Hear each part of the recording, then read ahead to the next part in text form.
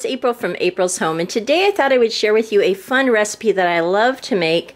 I have some currants here that I would like to make sure I use before they get a little bit too old.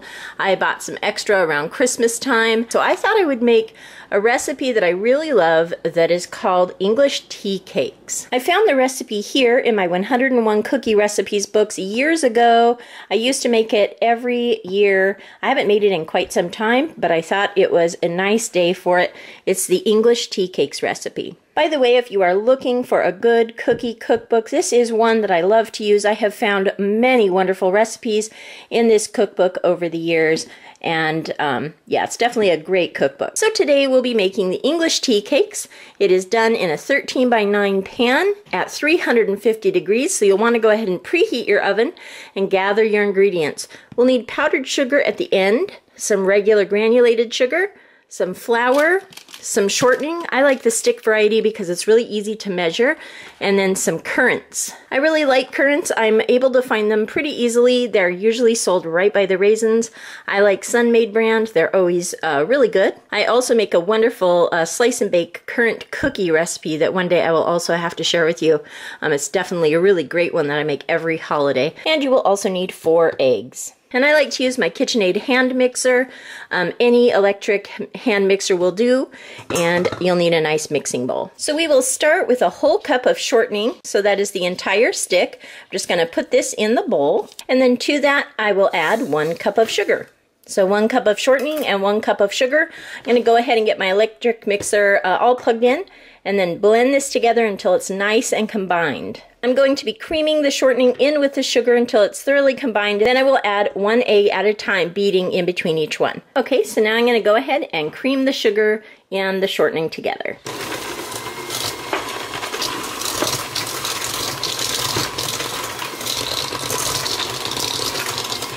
So you can see it starting to come together here. And I will keep stirring this until it is a little bit more creamed than this. Okay, so I have the sugar and the shortening all mixed together thoroughly and I've added my first egg. Um, I'll be mixing those in one at a time and I do like to crack my eggs into a little dish um, just in case a shell falls in or something. It's just a good way to do it to avoid um, messing up your whole recipe or wasting time having to look for a shell. So um, now I'm going to go ahead and mix this egg in.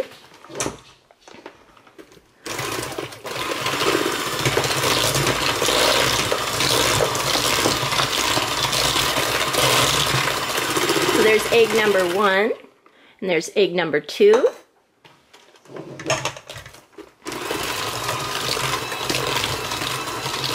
You can see it definitely takes on a very um, eggy texture here. It's really nice eggy sort of uh, cake. I'm going to take a minute to scrape down the sides a little bit too to make sure we're incorporating everything. Here's egg number three.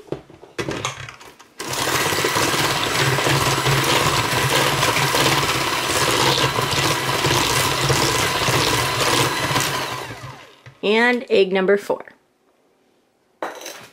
So now I'm going to go ahead and blend in this last egg.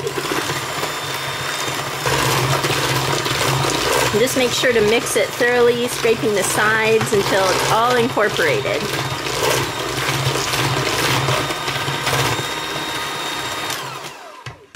And although this recipe doesn't call for it, I'm going to go ahead and add a cap full of vanilla. I do love vanilla flavor. Actually, I'll, this is a pretty big cap, so I'm going to keep that at about half a cap of vanilla, just for a little bit of extra vanilla flavor. Now I'm going to go ahead and blend that in. Okay, and now it's time to add the flour. So this recipe calls for one cup of flour, so one cup of shortening, one cup of sugar, four eggs, and one cup of flour. Again, I've also added a little vanilla extract. I'm going to just shake a little bit over the top here and incorporate in that and then continue adding it as I mix this in.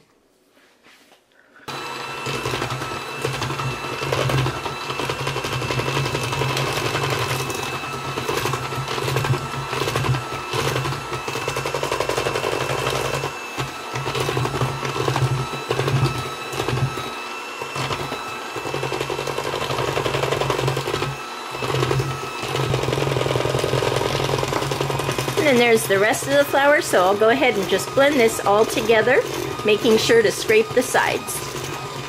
Okay, so I made sure to mix that up. I started at medium so that the flour wouldn't burst out, and then I um, uh, put my mixer on high and blended that all up, scraping the sides. It was really loud, so I didn't include that in the recording, but that is what it looks like, and now it's time to fold in the currants. Okay, so the recipe calls for one and a half cups currants. And just so you can see if you're not used to working with currants, they look like little teeny tiny raisins, but they are not raisins. They have a distinct flavor that I really love. Um, definitely would encourage you to try this with the currants. Again, here's one cup, then I'll add a half cup more. Okay, so there's the other half cup of currants.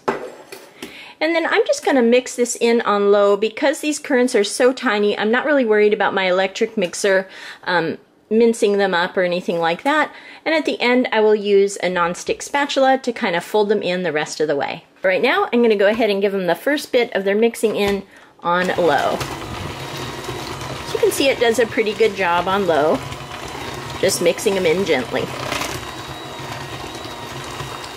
And then I'll take my red little uh, non-stick spatula here and fold it the rest of the way in.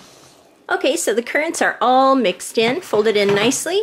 And now I'm going to go ahead and pour it into a 9 by 13 um, baking dish here. And before I do that, I'm going to go ahead and give it a good spray with a pan spray here.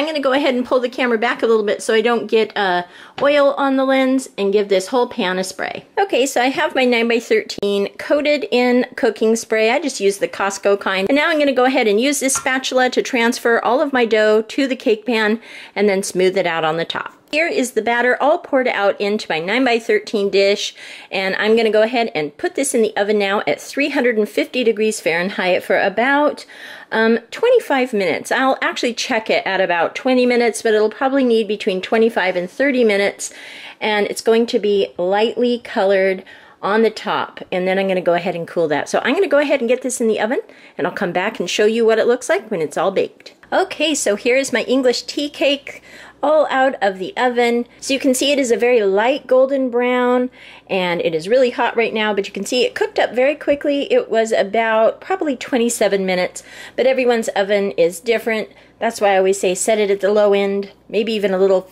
bit, uh, if you know your oven runs hot, set it for less than that and then check it and try to determine how much longer that'll need. So I am really eager to try this, but I'm going to go ahead and put this on a cooling rack so it can start cooling. So I'll come back when this is cool so we can dust this with powdered sugar, and then I'll serve up a piece and test it out. Okay, so I'm back, and now I'm going to go ahead and sprinkle some powdered sugar over the top of this.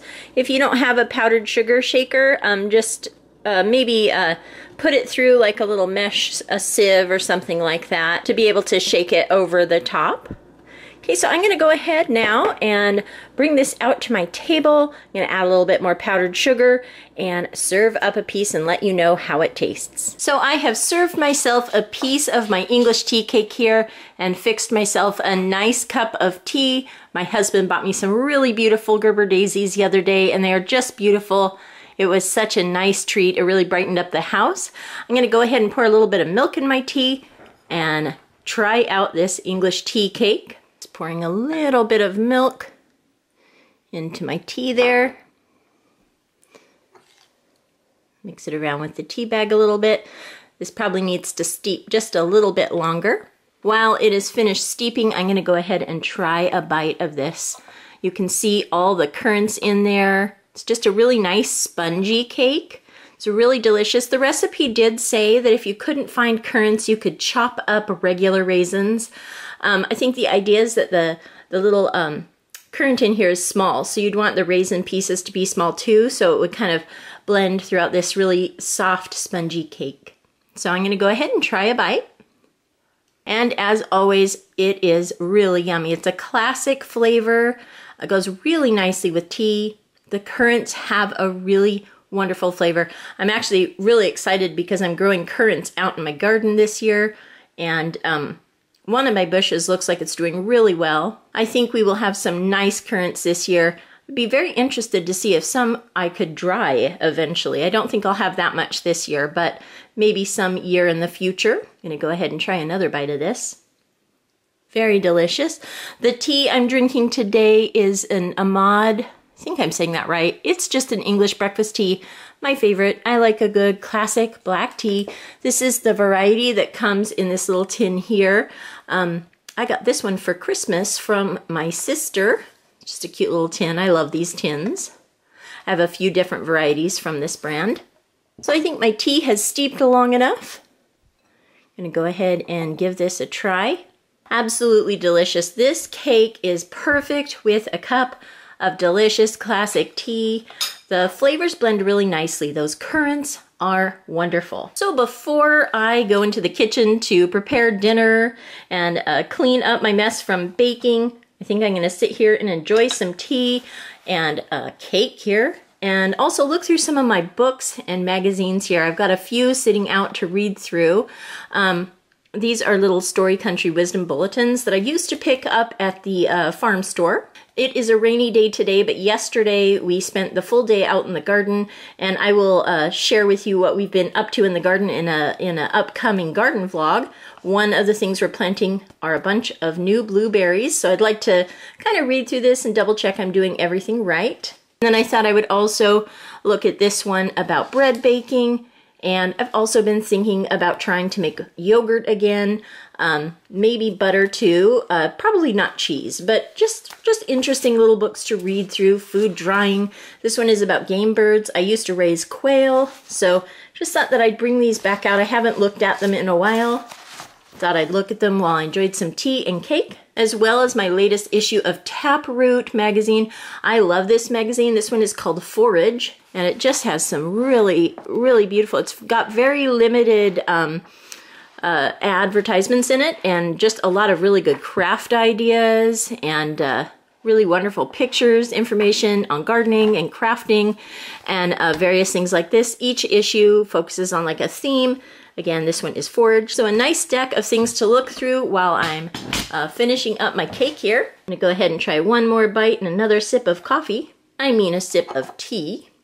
I'm often drinking coffee and I don't have tea often enough. I would definitely like to start drinking tea every day maybe replacing out some of my coffee. The edge of this cake has a really nice crispy little top here and it is extra delicious. So this is just a wonderful cake, a very easy recipe with lots of fairly basic ingredients except for those currants there, but um, like I said, they're usually easy to find right by the raisins. When I serve these at Christmas time, I often will cut them into little squares and then cut those across into triangles and serve it that way but today I'm just serving it in little squares. I also think that this will be a wonderful cake with tomorrow's breakfast. I'll probably serve a slice of this alongside of some eggs and fruit. I think that that would also be a great way to enjoy this cake. I hope you enjoyed watching me make this English tea cake, and I hope you give this recipe a try as well. It's really delicious. I have really been enjoying cooking and baking this year and look forward to sharing more recipes with you. If you like this video, give it a thumbs up, hit subscribe for more videos from April's Home, Thank you so much for watching, and I'll talk to you later.